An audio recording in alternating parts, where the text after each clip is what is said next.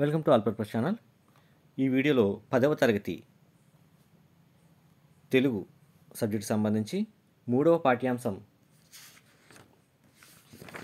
Notes మూడవ పాఠ్యాంశం యొక్క నోట్స్ శతక మాధుర్యం. నోట్స్ చూద్దాం. పేజ్ నెంబర్ ముప్పై ఒకటిలో అవగాహన ప్రతిస్పందన. ఈ అంశంలో రెండవ ప్రశ్న. పాఠంలో మీకు నచ్చిన పద్యాలు ఏవి? అవి ఎందుకు నచ్చాయో చెప్పండి. క్వశ్చన్ మార్క్ ఉండాలి. దానికి జవాబు. పాఠంలో రెండు పద్యాలు నాకు బాగా నచ్చాయి. జవాబు ఇంకా ఉంది. మొదటిది. హరిహరదనాథ శతకంలోను ఇది కాదదియును అనే పద్యం. దీని వివరణ. అలాగే రెండవది. వెంకటాద్రీశ్వర శతకంలోని అక్కడి నుంచి నాకు నచ్చింది వరకు. అవగాహన ప్రతిస్పందనలో రెండవ ప్రశ్న పాఠంలో మీకు నచ్చిన పద్యాలు ఏవి? అవి ఎందుకు నచ్చాయో చెప్పండి అనే ప్రశ్నకు సమాధానం. మొదటి భాగంలో మనం చూసినట్లుగా రెండు పద్యాలు నచ్చాయి అని తర్వాత ఇక్కడి నుంచి ఇక్కడి వరకు జవాబు రాయాలి. స్టాప్ చేసి వీడియోని స్టాప్ చేసి జవాబు రాయండి.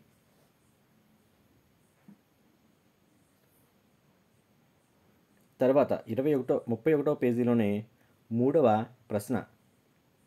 మంచి గుణాలు కలవాడు ఎలా మాట్లాడుతాడు? దానికి జవాబు మంచి గుణాలు కలిగిన వాడు ఎల్లప్పుడూ సౌమ్యంగా మాట్లాడుతాడు. ఇక్కడ నుంచి నీరు ఉన్న కుండతో పోల్చాడు. వెలితిగా నీరు ఉన్న కుండతో పోల్చాడు ఇక్కడ వరకు. స్టాప్ చేసి ప్రశ్న జవాబులు రాయండి.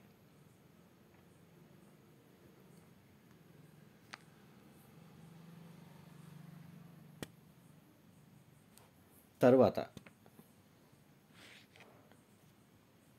ముప్పై ఒకటో పేజీలో నాలుగవ ప్రశ్న వేటిపై మమతను కలిగి ఉండాలి? ఈ ప్రశ్నకు జవాబు మనిషి తన భాషపైన తన దేశంపై మమతను కలిగి ఉండాలి. ఇక్కడ నుండి తప్పనిసరిగా మమకారం కలిగి ఉండాలని కవి చెప్పాడు. ఇక్కడ వరకు.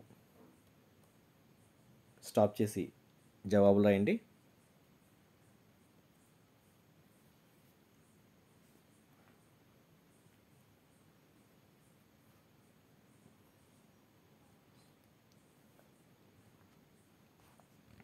తర్వాత ముప్పై రెండవ పేజీలో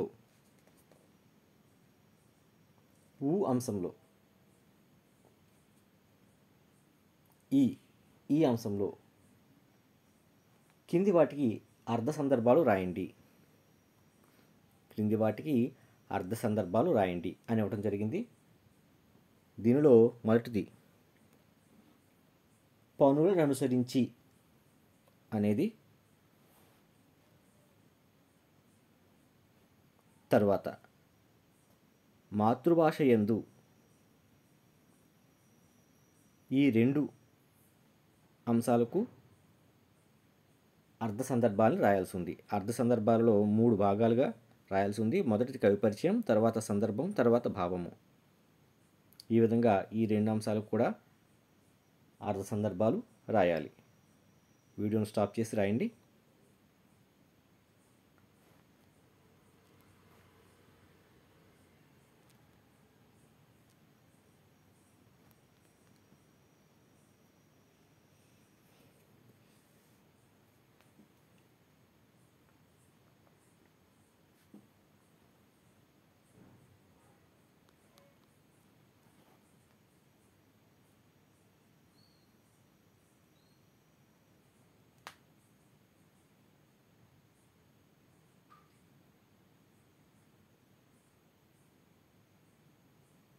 తరువాత ముప్పై రెండవ పేజీలో ఊ అంశం ఏకవాక్య సమాధానాలు అనిచ్చాడు.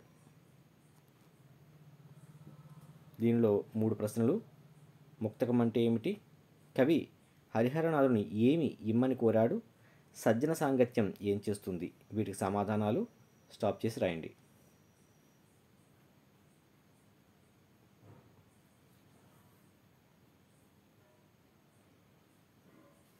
తరువాత వ్యక్తీకరణ సృజనాత్మకత ఈ అంశంలో మొత్తం మూడు ప్రశ్నలు ఉన్నాయి.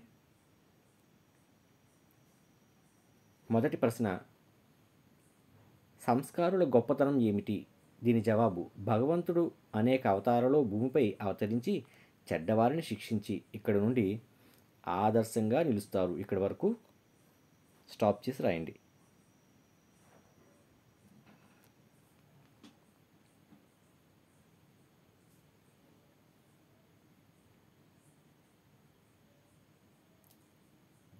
పాఠ్యపుస్తకం ముప్పై మూడో పేజీలో రెండో ప్రశ్న ఇవ్వడం జరిగింది. సత్ఫలితాలు పొందాలంటే ఏం చేయాలి? దీనికి జవాబు మనిషి జీవితంలో సత్ఫలితాలు పొందాలంటే ఇక్కడ నుండి సత్ఫలితాలు సిద్ధిస్తాయి ఇక్కడి వరకు. వీడియోని స్టాప్ చేసి రాయండి.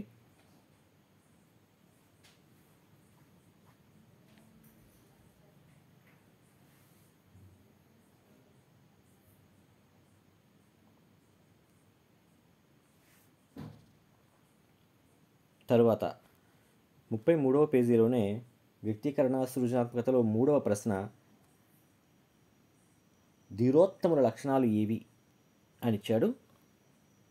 ధీరోత్తముల లక్షణాలు ఏవి? ధీరోత్తములు ముఖ్యంగా స్థితప్రజ్ఞులు ఇక్కడ నుండి ప్రతిరోజు న్యాయంగా జీవిస్తారు ఇక్కడ వరకు. వీడియోని స్టాప్ చేసి రాయండి.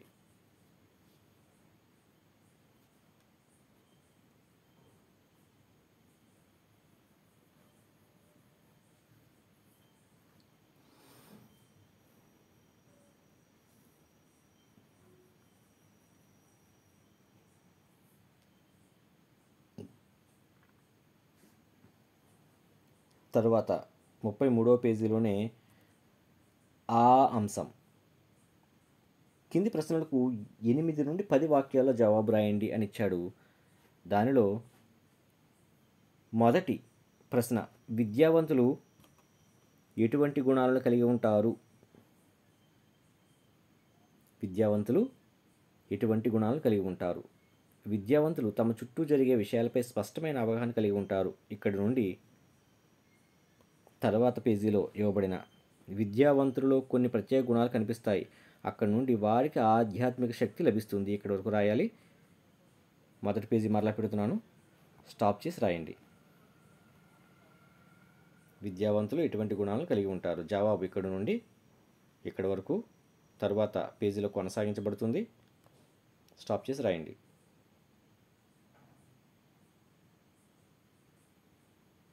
దానికి కొనసాగి కొనసాగింపుగా um ఇక్కడ నుండి ఇక్కడ వరకు రాయాల్సి ఉంది.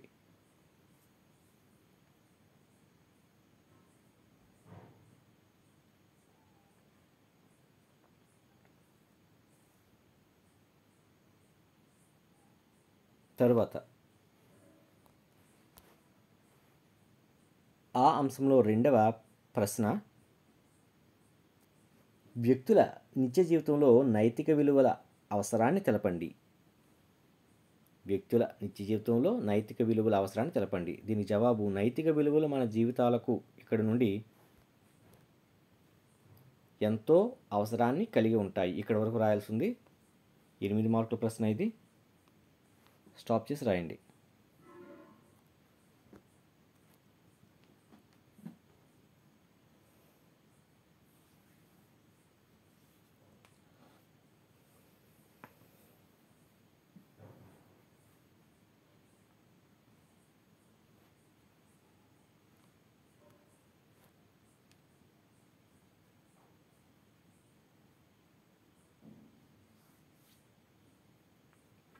తర్వాత ఆ అంశంలో మూడో ప్రశ్న పాఠం ఆధారంగా పది నీతి వాక్యాలు రాయండి అని ఇచ్చాడు.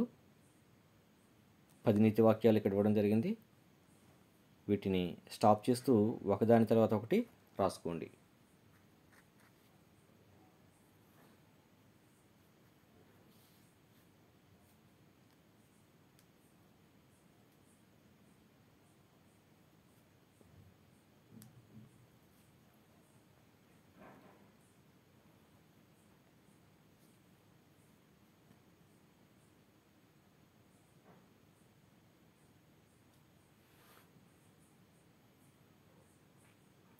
తరువాత ముప్పై మూడవ పేజీలోనే ఈ అంశం ఈ అంశంలో సృజనాత్మకత వ్యక్తీకరణ. ఈ అంశంలో మీ పాఠశాలలో నిర్వహించే పద్యాల పోటీలో విద్యార్థులందరూ పాల్గొనాలని కోరుతూ ఒక ప్రకటన రాయండి.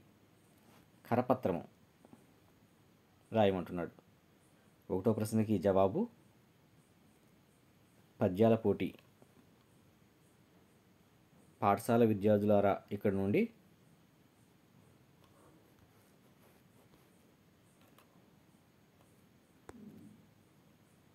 ఇట్లు పాఠశాల తెలుగు కమిటీ ఇక్కడ వరకు రాయాల్సింది.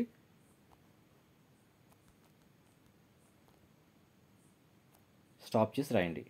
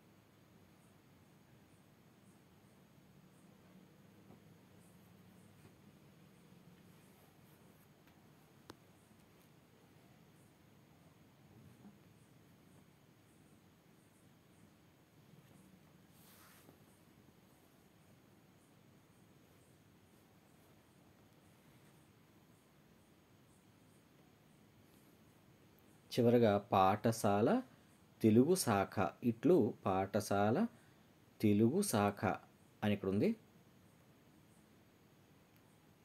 ఇక్కడ వరకు రాయాలి. స్టాప్ చేసి రాయండి. తర్వాత రెండవ ప్రశ్న. పాఠంలో మీకు నచ్చిన ఏదైనా పద్యభావానికి తగిన నీతి కథ గేయం కవిత రాయండి. ఈ జవాబులో నీతి ప్రౌఢ విహారులైన ఈ అనే ఈ పద్యానికి పద్య భావన ఒక చక్కని ఉదాహరణ. ఇక్కడ నుండి అందరి చేత కీర్తించబడ్డాడు ఇక్కడ వరకు. స్టాప్ చేసి రాయండి.